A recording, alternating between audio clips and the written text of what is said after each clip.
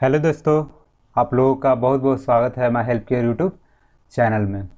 तो आज हम लोग देखेंगे कि पीडीएफ फ़ाइल को जिसमें बहुत सारा पेज होता है 100, 200, 500 और उसमें से किसी खास पेज को मतलब मान लीजिए कि 100 पेज है और उसमें हमको अंदर वाला पेज 20 से 30 नंबर का पेज को प्रिंट करना है तो कैसे करेंगे? क्या सिंगल सिंगल एक एक बार करेंगे या एक ही बार सेलेक्ट करके कर देंगे? तो मैं यहाँ बताऊँगा कि एक ही बार कैसे आप उसे सेलेक्ट कर दीजिएगा और वो अपने आप प्रिंट हो जाएगा। तो चलिए देखते हैं क्या करना होता है। तो सबसे पहले जो भी भी आपका पीडीएफ फ़ाइल है, उसको आप क्रोम ब्राउज़र में ओपन कर लीजिएगा, ठीक ना? क्रोम ब्राउज़र में ओपन कीजिएगा। ऐसे पीडीएफ फ़ाइल को ओपन करने के लिए एडोब रीडर होता है, वहाँ से भी लोग करते हैं तो वहाँ भी होता है काम। लेकिन मुझे क्रोम ब्राउज़र में बहुत ईजी होता है सब करना तो मैं उधर उधर जाता नहीं हूँ क्रोम ब्राउज़र में ही कर लेता हूँ। तो जैसे देखिए, यहाँ पे ये जो मेरा पीडीएफ फ़ाइल है, एक बुक है तो इसमें टोटल कितना है? टू सेवेंटी नाइन पेज और अभी मैं किस नंबर का पेज के पास हूँ? ये जो पेज है, वह एक सौ सैंतीस नंबर का पेज है। तो मुझे ये प्रॉब्लम है कि मुझे एक सौ सैंतीस नंबर से लेकर यहाँ आठ दस पेज है, उसको प्रिंट करना है। मैं आपको दिखा देता हूँ कहाँ तक प्रिंट करना है, एक सौ सैंतीस से। मैं थोड़ा नीचे जाता हूँ। आप देख लीजिए, एक सौ सैंतीस से शुरू करके एक सौ सैंतीस से शुरू करके मुझे प्रिंट करना है और आगे पीछे करना है दोस्तों, ये भी ध्यान रखना है। एक पेज में आगे पीछे हो जाना चाहिए। एक सौ सैंतीस कितना दूर है भाई? हाँ चैप्टर आठ आ गया। यानी कि हमको एक पेज तक, इस पेज में तो कुछ है ही नहीं। छोड़िए इसको भी।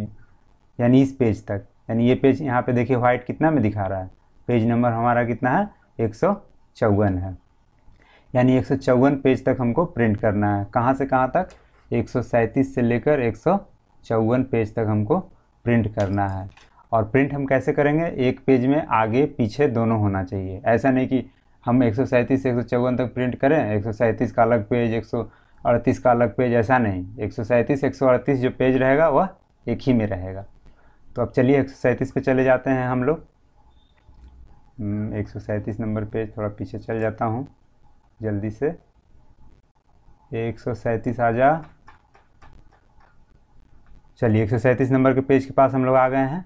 तो यहाँ से हमको प्रिंट करना, कोई दिक्कत? कुछ नहीं। अब हम लोग क्या करेंगे? यहाँ पे देखिए, प्रिंट का आइकन बना हुआ रहता है। उस पर आपको क्लिक करना है। क्लिक करने के बाद अपना प्रिंटर वगैरह जो है वो सिलेक्ट कर लीजिएगा। पेज यहाँ पे सिलेक्ट करना है। ऑल जो लिखा हुआ है, इस पर क्लिक करके यहाँ कस्टम में चले जाइएगा। और यहाँ पे आपको ना पेज लिखना है। कैसे लिखना है? मेरा एक सौ सैंतीस से शुरू है तो पहले लिखेंगे एक सौ सैंतीस, फिर कॉमा देंगे। फिर उसके बाद अड़तीस छोड़ देंगे, उनचालीस लिखेंगे। एक सौ उनचालीस। एक पेज छोड़ छोड़ के लिखेंगे। ऐसा इसलिए लिखेंगे कि जब अगला बार प्रिंट करेंगे तो फिर उसका पीछे वाला पेज मेरा प्रिंट हो जाए। कैसे होगा सब हम दिखाएँगे दोस्तों, प्रिंटर का वीडियो लेकर दिखाएँगे, इसीलिए आप घबराइए नहीं। जैसा मैं बोल रहा हूँ, ऐसा कीजिएगा। पहले एक सौ सैंतीस लिखेंगे, फिर एक पेज छोड़ देंगे, एक लिखेंगे, फिर कॉमा, एक के बाद एक सौ इकतालीस, फिर कॉमा, एक एक छोड़ के, एक सौ तैंतालीस, कॉमा पैंतालीस सैतालीस हुआ ना एक सौ पैंतालीस एक सौ सैंतालीस एक सौ उनचास एक सौ इक्यावन और हमको जाना कहाँ तक है एक सौ चौवन तक ना हम एक सौ सैंतीस से लेकर एक सौ चौवन तक प्रिंट करना था मुझे तो एक सौ इक्यावन हुआ उसके बाद हाँ कॉमा देंगे एक सौ तिरपन अब एक सौ चौवन प्रिंट करना है तो एक सौ चौवन प्रिंट करना है हमको तो क्या इसमें आएगा? इसमें तो एक सौ तिरपन के बाद एक पेज छोड़ेंगे तो कितना हो जाएगा? एक सौ तब नहीं लिखना है, ठीक है? इतना कर लिए।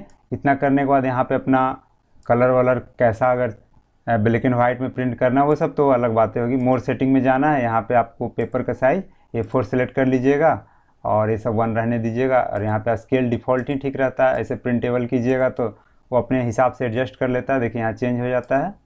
डिफ़ॉल्ट रहने से थोड़ा बड़ा अच्छा लगता है और उसके बाद आपको प्रिंट पे क्लिक करना है। ठीक है दोस्तों, प्रिंट पे हम क्लिक करते हैं और हम इसका वीडियो भी शूट करके आपको दिखा देते हैं। तो दोस्तों, अब हम प्रिंट पे क्लिक करते हैं और हमारा ये प्रिंटर अब काम करना शुरू करेगा। चलिए, मैं प्रिंट पे क्लिक कर दिया हूँ और यहाँ मेरा प्रिंटर कनेक्ट है। देख सकते हैं, यहाँ प्रिंटर मेरा कनेक्ट है।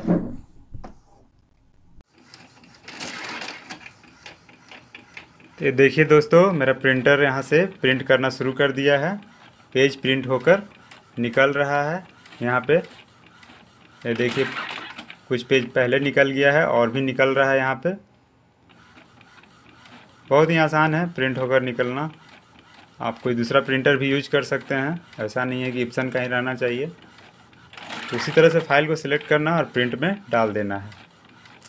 और अपने आप सारा का सारा प्रिंट वापस बाहर निकल जाएगा। तो जितना पेज मैंने वहाँ पे सिलेक्ट किया, उतना ही पेज यहाँ पे प्रिंट होगा दोस्तों। एक्स्ट्रा नहीं होगा। ठीक ना? और उसके बाद क्या करना है? मैं बताता हूँ आपको। ये लगभग हो गया है। तो ये सारा मेरा पेज जितना था वो प्रिंट होकर बाहर आ गया है। देखिए, इसमें क्या है? सिर्फ़ ऊपर में हुआ है ना, पीछे साइड में खाली है। पीछे साइड में नहीं हुआ है, तब क्या करेंगे, इसको हम लोग प्रिंटर में फिर से निकाल ये देखिए दोस्तों, ये मेरा पूरा प्रिंटर में निकल के आ गया। तो इसको उल्टा ही डाला जाता है, सीधा नहीं डाला जाता। अपना अपना प्रिंटर कौन हिसाब से लेता आप अपना देख लीजिएगा। तो ये ऐसे निकला था, ठीक ना? ये अंदर से ऐसे निकला तो हम लोग इसको ऐसे पलटेंगे और ऐसे पलट के ऐसे ही इसमें डाल देंगे। ऐसे ही इसमें डाल देंगे, ठीक है? ये डला गया। और अब हम कंप्यूटर में करते हैं अपना काम। अब दोस्तों, देखिए, हम लोग आगे का तो पेज प्रिंट कर लिए मतलब एक सौ सैंतीस, एक सौ उनचालीस, ऐसे करके प्रिंट कर लिए। अब क्या बचा है? एक सौ अड़तीस जो बीच बीच वाला छोड़ दिए तो उसको प्रिंट करना भी बचा हुआ। तो फिर से प्रिंट पे जाएँगे। प्रिंट पे जाने के बाद सेम यहाँ पे वही जो पेजेज लिखा हुआ है, यहाँ पे जाकर कस्टम में जाएँगे। और याद कीजिए आपने एक सौ सैंतीस को प्रिंट किया था और क्या छोड़ा था एक सौ अड़तीस ना तो एक सौ अड़तीस यहाँ लिखेंगे उसके बाद कॉमा देंगे और उनचालीस आपने प्रिंट कर लिया है पीछे वाला में पीछे शुरू किए थे एक सौ सैंतीस एक सौ उनचालीस ऐसे करके तो यहाँ भी एक सौ अड़तीस से शुरू किए हैं तो एक एक छोड़ के लिखते चले जाइए एक सौ अड़तीस हुआ उसके बाद एक सौ चालीस हुआ एक सौ बयालीस हुआ एक सौ चौवालीस हुआ एक सौ छियालीस एक सौ अड़तालीस एक सौ पचास उसके बाद एक सौ बावन। और हम लोग को कहाँ तक प्रिंट करना था? एक सौ चौवन तक ना? एक सौ चौवन इसमें आ रहा है। एक सौ चौवन हो गया। लास्ट में एक सौ चौवन लिखने के बाद कॉमा मत दीजिएगा। कॉमा दीजिएगा तो देखिए वहाँ पे इरर लिखा देगा। है ना? तो कॉमा हटा दीजिएगा। इतना हो गया। और उसके बाद यहाँ से इसको प्रिंट मार दीजिएगा। यहाँ से प्रिंट मारिएगा। बाकी तो सब ठीक ही है। तो मैं फिर से वीडियो कर लेता हूँ।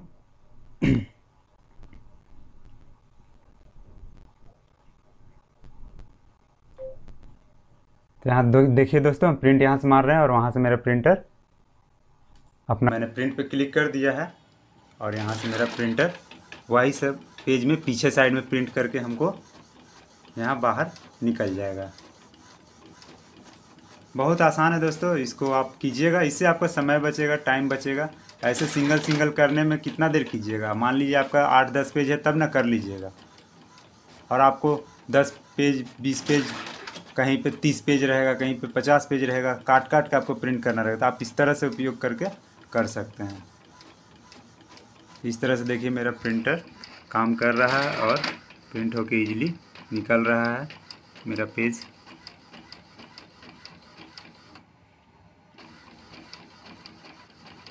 बहुत अच्छा काम करता है दोस्तों, ये क्रोम ब्राउज़र से कीजिएगा। इधर उधर ज़्यादा सॉफ्टवेयर के चक्कर में ना रहिएगा, क्योंकि क्रोम ब्राउज़र सभी के लैपटॉप कंप्यूटर में होते हैं तो वहीं से प्रिंटिंग व्रिंटिंग आप कर सकते हैं थोड़ा बहुत। यहाँ तक कि ये सब चीज़ें ज़्यादातर लोगों को नहीं पता रहता है, क्योंकि मैं छोटे मोटे दुकान में जाता हूँ तो लोग परेशान हो जाते हैं कि अरे कैसे होगा, इतना सा बीच में करना है टाइम नहीं है, ऐसा करके बोल देते हैं, जबकि ये ईजी चीज़ है। तो ये पूरा प्रिंट हो जाने देते हैं दोस्तों। और आप लोग समझ गए हैं तो आप वीडियो यहीं आप स्टॉप कर सकते हैं। लेकिन मैं तो पूरा वीडियो बना के ही छोड़ूँगा। ये रहा। कितना पेज था? एक सौ सैंतीस से शुरू था ना? नहीं नहीं ये तो एक सौ अड़तीस से शुरू हुआ था। हम्म, तो उसके पीछे साइड में प्रिंट हो गया होगा। और लगता है तीन पेज और बचा है।